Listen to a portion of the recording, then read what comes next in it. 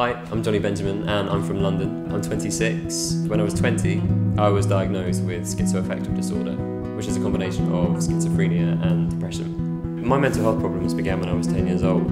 At that age, I started to hear a voice in my head, and I also believed that I was being followed everywhere that I went by cameras. The voice I was hearing in my head was more of a commentary, and I actually thought that it was an angel that had been sent down from heaven. And for the first few years that that was happening, it was okay, I could deal with it. And then when I turned 16, that voice changed and it became more of a devil and it began to really torment me and it would challenge me to do certain things. So I might have to um, move an object from one place to the other. Otherwise, I'd be punished. And I, I thought this voice had complete control over me and I was scared by it. At the age of 16, I started to feel really depressed and I began having thoughts that were um, quite suicidal in nature and I began to think that actually maybe life wasn't worth living anymore. But all this time I kept it to myself. I was just really scared about talking about these things with anyone around me. I had no concept of mental health anyway. Um, I, I had no idea that I was going through a mental health issue.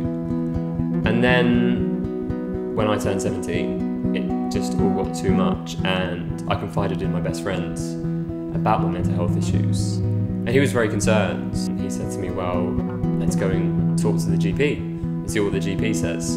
Because I was feeling very low constantly, and I was crying a lot, and um, I, I just wasn't feeling myself, and he could see this. So we went to the GP, and the GP was great that I saw. The GP referred me straight away to CAMHS, to the Child and Adolescent Mental Health Service. Things didn't go so well with CAMHS.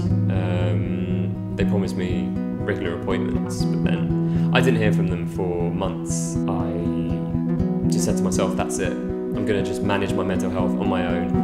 Do it, I'll be fine. I was going off to university, and I thought that that would be the cure to what was going on in my head. I thought that would be the answer, and all my mental health problems would just end.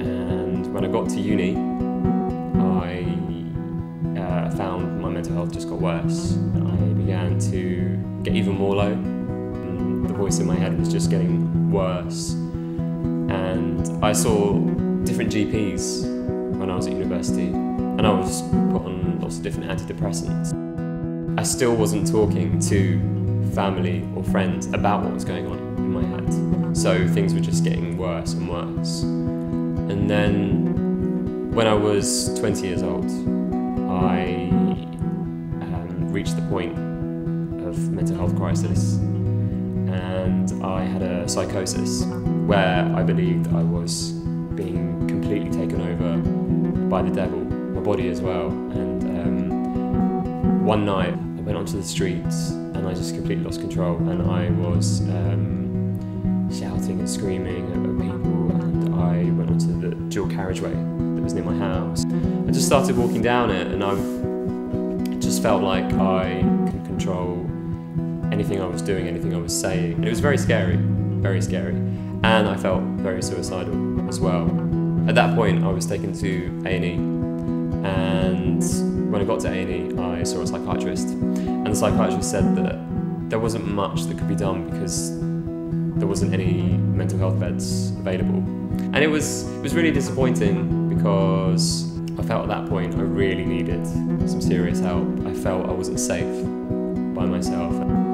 Luckily, at that point, I told my university friends about what was going on. My university friends were great, they were really supportive, and they said that they'd help me through it. They knew that I needed to get help, and so I went home for the Christmas holidays. There I saw uh, my family GP. My family GP uh, admitted me to a psychiatric unit. There I was diagnosed with um, schizophrenia and depression, which combined is classed as schizoaffective disorder. I spent the next six weeks in a psychiatric unit. It, it was it was very scary at first, especially being diagnosed with schizophrenia. I was absolutely terrified and I couldn't really comprehend it. Mm, Eventually, um, I did begin to um, get better. Um, I had different therapy to learn how to manage my mental health. Yeah, I, I left hospital six weeks later, and um, it took a while, but I went on to make a recovery from that episode. Life is much better now. I've learned to manage my mental health issues, and I still go through bad periods, but overall I keep positive and on top of things.